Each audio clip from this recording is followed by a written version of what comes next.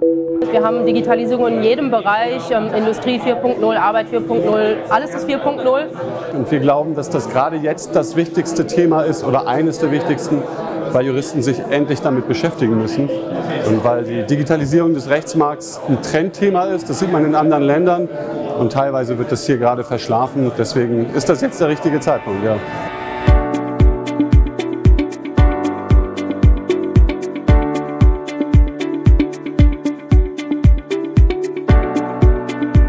War super, hat total viel Spaß gemacht. Es war ähm, enorm inspirierend, viele nette Leute kennengelernt.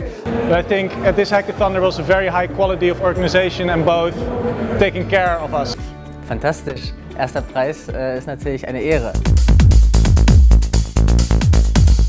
Wir hatten elf Teams, die elf funktionierende Prototypen entwickelt haben, die ähm, äh, auch technisch immer komplexer werden und auch von der Produktreife her immer besser. Which is the, the winner for today, uh, so I'm proud to announce WizLegal.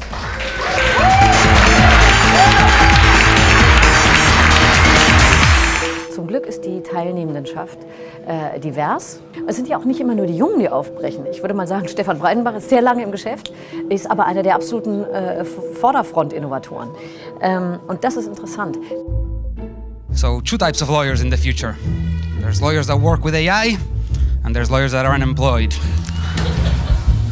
Das Schicksal von Regeln ist Code. Wir gehen als Juristen mit Regeln um, wir haben Prozesse mit Regeln.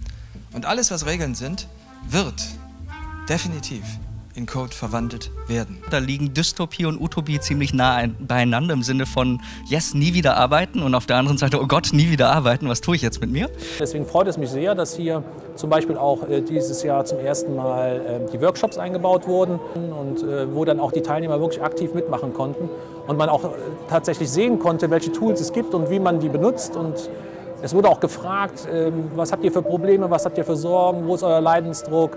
Also die Beziehung zwischen der Konferenz, den Machern der Konferenz und den Teilnehmern wird enger, glaube ich, und die, der Praxisbezug stärker. The data is the new oil, that, that has already been mentioned. Ähm, jeder, der noch irgendwie länger als fünf Jahre arbeiten muss, muss sich damit auseinandersetzen, dass, dass wenn, er, wenn, er, wenn er nicht grundsätzlich die Art, ähm, sein Produkt zu verkaufen, ändert oder anpasst oder überdenkt, reflektiert überdenkt, extreme Probleme haben wird.